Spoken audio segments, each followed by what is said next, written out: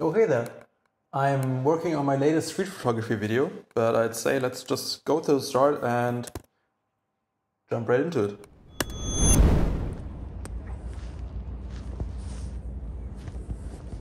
So I brought my trusted Sony a7 III paired with the Sigma 24-70 as I only brought one lens to this trip and it had to be a zoom. Also I have a Tiffen Black Pro Mist on top for those softer highlights. But other than that, I thought I would not do a voiceover this time, so no talking, no music, only impressions from my morning walk in Hamburg.